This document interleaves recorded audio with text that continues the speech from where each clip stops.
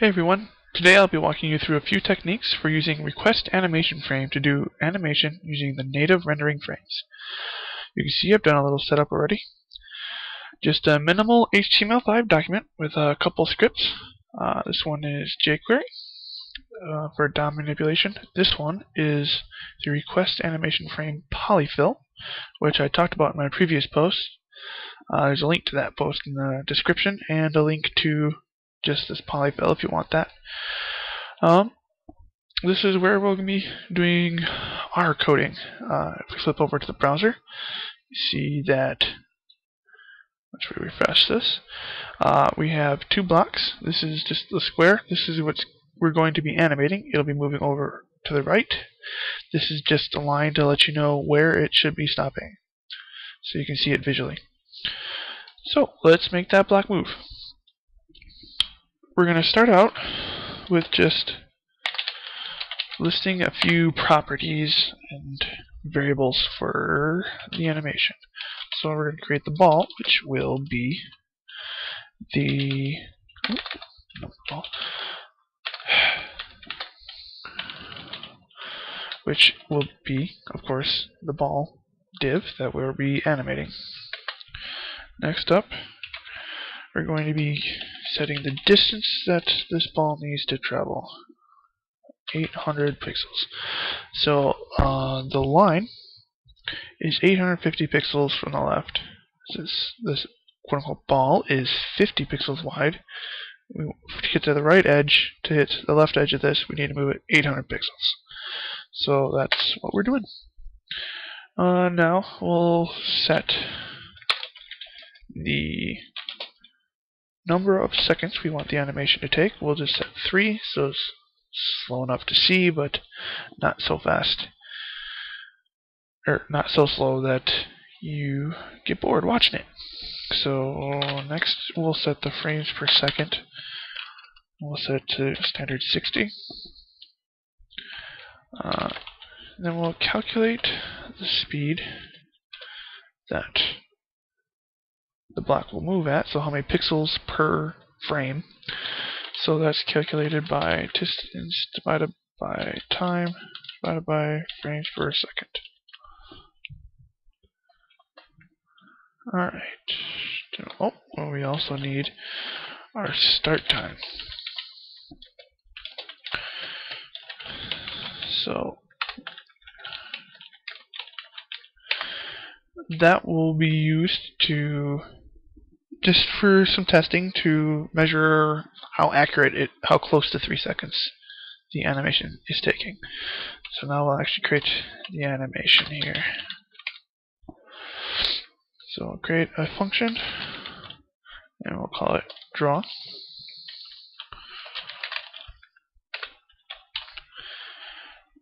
I'll start out by getting the position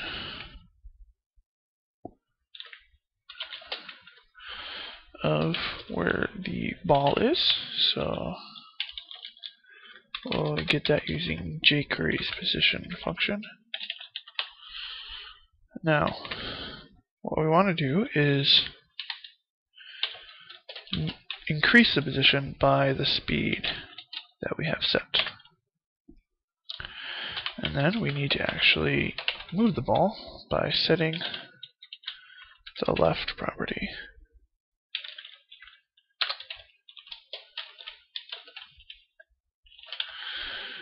Alright. So that'll move it, but that won't stop the ball. So we need to check. No, also won't keep it going. It'll just move it to one frame. So in the past, we would have used set timeout and just done draw and however many milliseconds we wanted. But now we're trying to show you how to use um, a request animation frame. So we'll use that.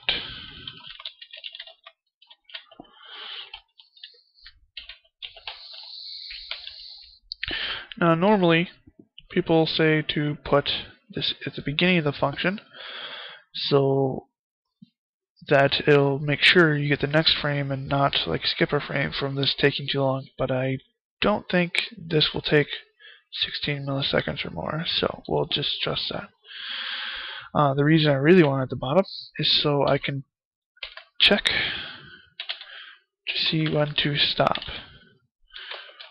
So if the position of the ball is not yet at full distance, then we'll stop or keep going.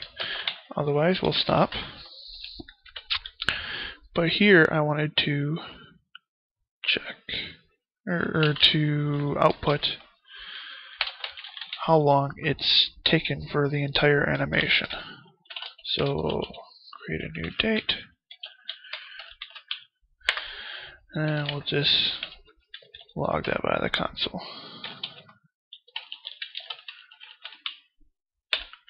Oh, minus start time. And then we need to actually call it for the first time, so otherwise it would never go at all.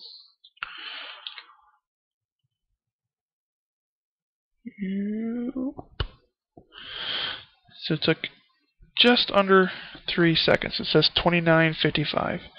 Um, when I was running it in Chrome, it never took less than three seconds. But I don't know what happens with Firefox that it takes less than three seconds.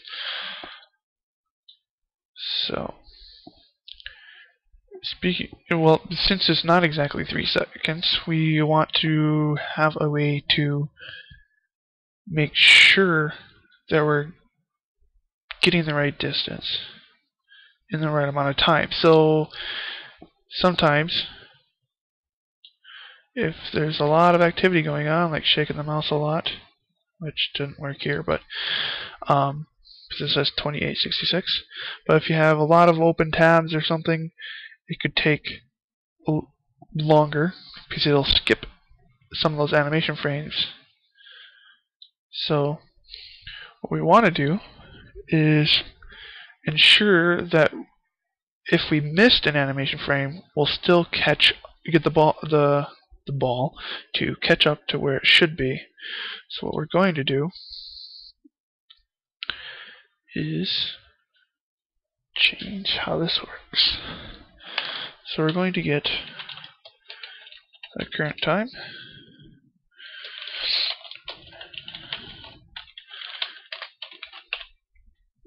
and then we'll get the num the amount of time the animation has taken so far.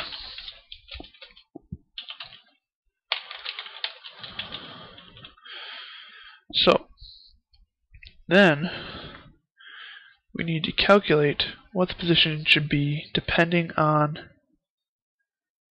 how long it's been. So over to calculate this, we take the distance, and since we're going about 60 frames per second, we need to divide, oh, no, doing it along 3 seconds. So, it's about 800 divided by 3000 milliseconds. So we want about 0.266 pixels per millisecond. So we'll do that.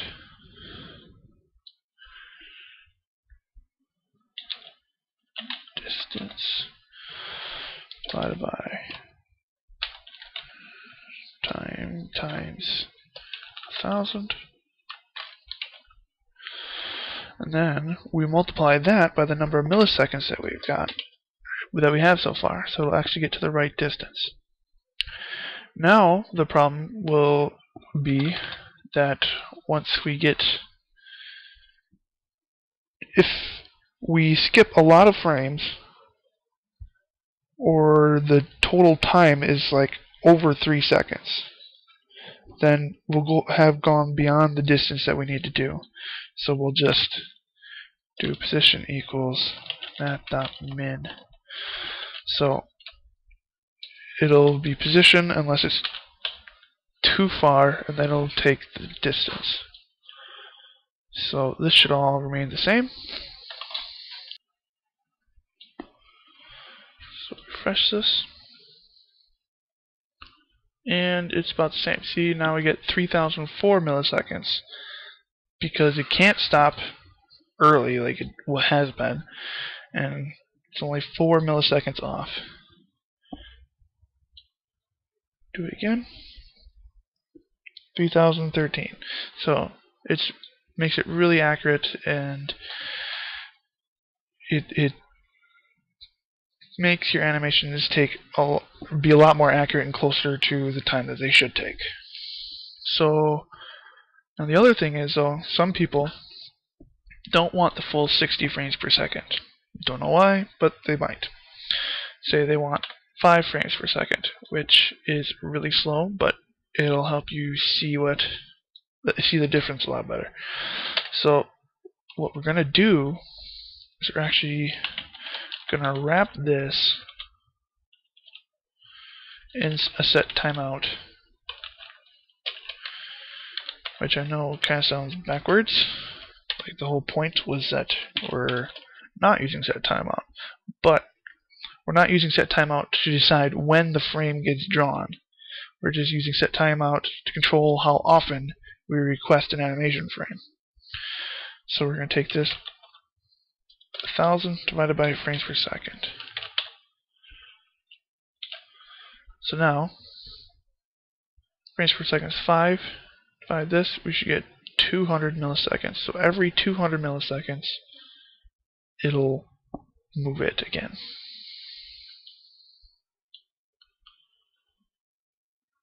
You see it's really skippy, making big jumps. It's 3067, which is a little higher because of the amount of time between frames.